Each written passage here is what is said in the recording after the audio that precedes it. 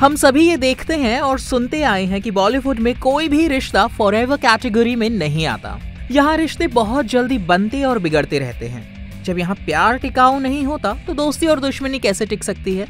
करण जौहर ने रिसेंटली जब Times literature festival में पार्टिसिपेट किया तो बताया कि क्यों बॉलीवुड में फ्रेंडशिप लॉन्ग लास्टिंग नहीं होती।